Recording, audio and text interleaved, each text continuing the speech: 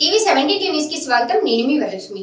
సిద్దిపేట జిల్లా మిరదొడ్డి మండలం అక్బర్పేట గ్రామంలో నూతనంగా నిర్మించిన గెస్ట్ హౌస్ అతిథి గృహంతో పాటు నూతన అంబులెన్స్లను ప్రారంభించిన రాష్ట్ర ఆర్థిక శాఖ మంత్రి హరీష్ రావు. ఈ సందర్భంగా హరీష్ రావు మాట్లాడుతూ నిత్యం ప్రజలకు మెరుగైన వైద్య సదుపాయాలు అందించేందుకు రాష్ట్ర ప్రభుత్వం కృషి చేస్తుందని దుబ్బాక నియోజకవర్గంలో ప్రజలకు అందుబాటులో ఉండేలా మరో రెండు నూతన అంబులెన్స్లను మిరుదొడ్డి మండలం భూంపల్లి గ్రామంలో ప్రారంభించామని అన్నారు.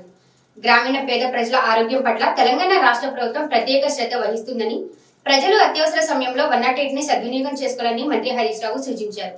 ఈ కార్యక్రమంలో ఎంపీ కొత్త ప్రభాకర్ రెడ్డి వీరి వెంట ఇతర ప్రజాప్రతినిధులు పాల్గొన్నారు. కొంచెం